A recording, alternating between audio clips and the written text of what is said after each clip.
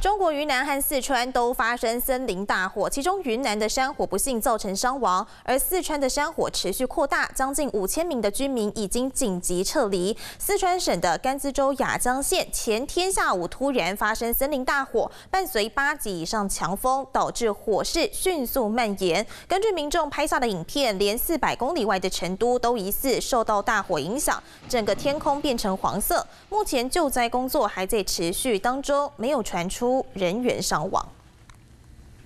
你好，我是宋彦明。想掌握最及时的新闻资讯吗？赶紧订阅、按赞、开启小铃铛，锁定华视新闻 YouTube 频道。